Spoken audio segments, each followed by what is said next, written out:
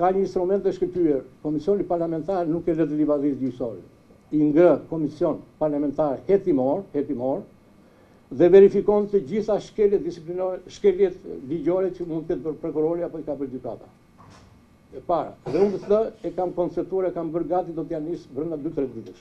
Do t'ia nis Parlamentit shqiptar të ngrejë komision, e theksoj, të ngrejë komision parlamentar për të gjitha shkeljet, që nga regjistrimi i kallëzimit deri te vendimi i i dënimit penal dhe tani edhe ky i shkarkimit. Dhe rruga e dytë janë është drejtimi drejt Gjykatës Kushtetuese për vendimin penal, te Gjykatës Lartë.